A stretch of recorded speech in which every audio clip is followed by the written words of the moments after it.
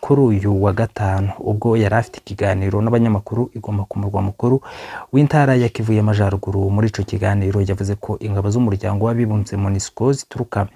mu gihugu ca Pakistan ari bo batashe bakaba abenshi muri bo barakoreraga mu bice vyo mu ntara ya Kivu y'Amajepfo mu gihugu ca Repubulika Iharanira Demokarasi ya Kongo avuga ko kandi abamaze gutaha bari mu ciciro ca mbere co kuva mu gihugu ca Repubulika Iharanira Demokarasi ya Kongo uyu muvugizi yakomeje avuga ko ibi biri mu masezerano ari hagati ya leta ya Kinshasa n'umuryango w'abibumbye aho leta ya Repubulika Iharanira Demokarasi ya Kongo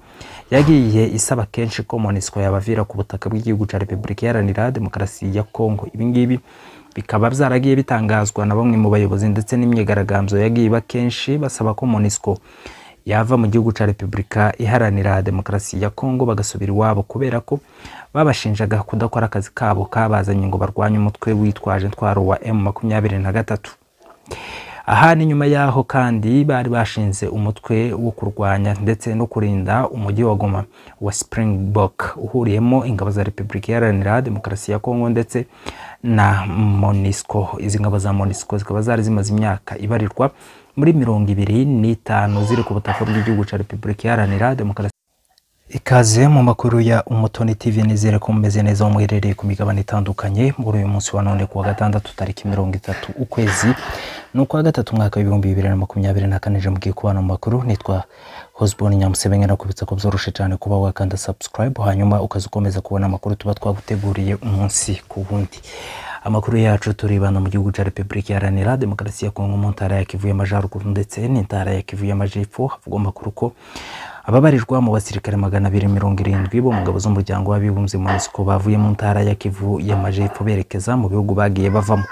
Aba basirikare basubiye mu gihugu bavuyemo biravuga ko ari abasirikare bo mu ngabo z'umuryango w'abibumbye za MONUSCO bakoreraga mu ntara ya Kivu y'Amajyepfo cyane cyane habaga ingabo za MONUSCO zavuye Pakistan. Aya niyo makuru rero. Mu murwa mukuru aho ni mu ntara ya Kivu y'Amajyaruguru haravugwa andi makuru y'uko igisasu caturikanye abasirikare ndetse hakaba haje kugwamo n'abandi basirikare bo muri ba Wazalendo ikaze mu makuru. Ababarirwa mu basirikare magana abiri mirongo irindwi bo mu ngabo z'umuryango w'abibumbye MONUSCO bavuye mu ntara ya Kivu y'Amajyepfo berekeza mu bihugu bagiye bavamo n'ibyatangajwe n'umuvugizi w'ingabo z'umuryango w'abibumbye MONUSCO Lieutenant Colonel Kedanyi Menasha kuri uyu wa gatanu. Ubwo yari afite ikiganiro n'abanyamakuru igomba ku murwa mukuru w'intara ya Kivu y'Amajyaruguru. Muri ico kiganiro yavuze ko ingabo z'umuryango w'abibumbye MONUSCO zituruka mu gihugu ca Pakistan ari bo batashe bakaba abenshi muri bo barakoreraga mu bice vyo mu ntara ya Kivu y'Amajyepfo mu gihugu ca Repubulika Iharanira Demokarasi ya Kongo avuga ko kandi abamaze gutaha bari mu ciciro ca mbere co kuva mu gihugu ca Repubulika Iharanira Demokarasi ya Kongo uyu muvugizi yakomeje avuga ko ibi biri mu masezerano ari hagati ya leta ya Kinshasa n'umuryango w'abibumbye aho leta ya Repubulika Iharanira Demokarasi ya Kongo yagiye isaba kenshi ko MONUSCO yabavira ku butaka bw'igihugu ca Repubulika Iharanira Demokarasi ya Kongo ibi ngibi bikaba byaragiye bitangazwa na bamwe mu bayobozi ndetse n'imyigaragambyo yagiye iba kenshi basaba ko MONUSCO yava mu gihugu cya Repubulika Iharanira Demokarasi ya Kongo bagasubira iwabo kubera ko babashinjaga kudakora akazi kabo kabazanye ngo barwanye umutwe witwaje intwaro wa M makumyabiri na gatatu. Aha ni nyuma yaho kandi bari bashinze umutwe wo kurwanya ndetse no kurinda umujyi wa Goma wa Springbok uhuriyemo ingabo za Repubulika Iharanira Demokarasi ya Kongo ndetse na MONUSCO izi ngabo za MONUSCO zikaba zari zimaze imyaka ibarirwa muri mirongo ibiri n'itanu ziri ku butaka bw'igihugu cya Repubulika Iharanira Demokarasi ya Kongo ni nyuma yaho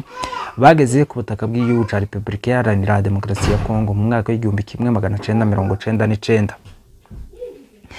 Mu ntara ya Kivu y'Amajyaruguru ku murwa mukuru w'iyi ntara ku munsi w'ejo kuwa gatanu tariki makumyabiri n'icenda ukwezi kwa gatatu umwaka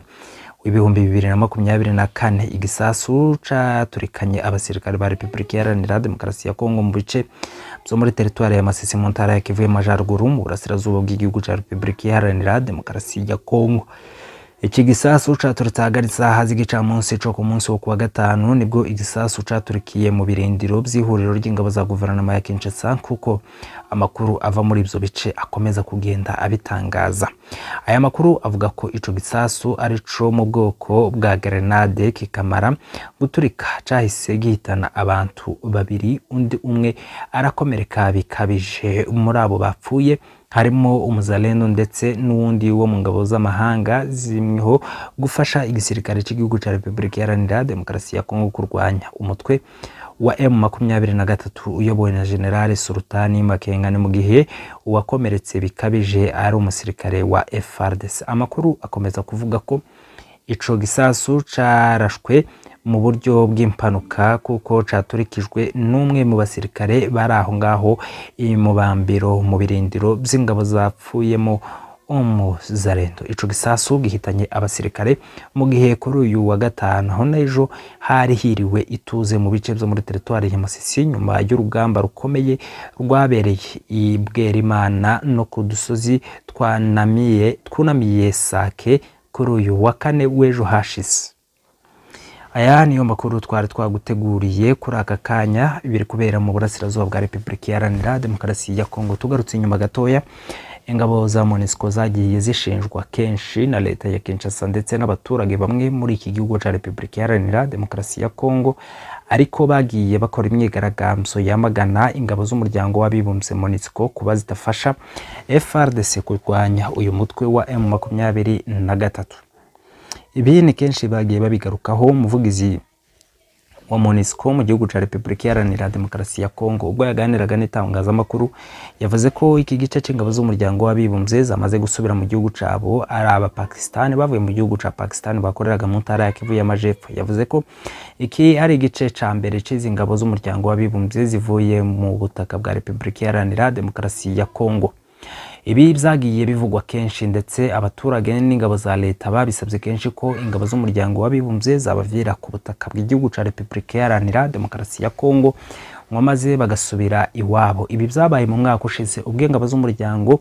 wa afurika y'iburasirazuba iyarafi batangiraga kuva ku butaka bw'igihugu cya repubulika iharanira demokarasi ya kongo bari babifatikanyije n'izi ngabo za monisco. Ubwo kinshasa yakomezaga kubarega ivuga ko nta kazi bakora. Ahubwo ari bo baha imbaraga umutwe wa M makumyabiri na gatatu ndetse no kurebera umutwe wa M makumyabiri na gatatu uri kurwana na leta ya perezida Felix Antoine Tshisekedi. Izi ngabo za monisco zatangiye kugenda. Reka twitege niki kigiye gukurikiraho nyuma yaho izi ngabo zari muri kivu y'amajepfo z'umuryango w'abibumbye zamaze kuva ku butaka bw'igihugu cya repubulika iharanira demokarasi ya kongo ababarirwa muri magana abiri na mirongo irindwi bamaze kuhava. Twitega iki niki kigiye gukurikiraho nyuma y'uko izi ngabo z'umuryango wa afurika